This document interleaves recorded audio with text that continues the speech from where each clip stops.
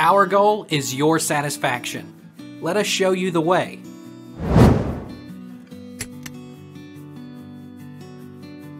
Where is Gypsy Rose Blanchard now 2021?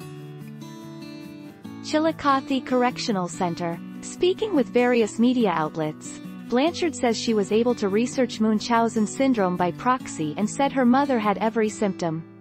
She also says she feels freer in prison than she was before with her mother.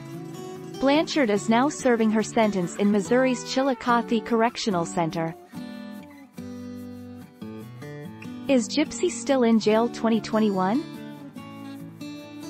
Gypsy was convicted of second-degree murder in July 2016. She will be eligible for parole in 2024 and is currently serving a 10-year sentence for the slaying of her mother, Dee, who is said to have suffered from Munchausen syndrome by proxy. Is Nick Godejohn alive? Godejohn was sentenced in court in February 2019 for the 2015 murder of Dee Blanchard.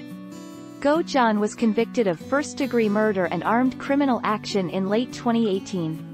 He now will spend life in prison for the murder charge and 25 years for the armed criminal action charge. Take our lead. Let's help you make your mark.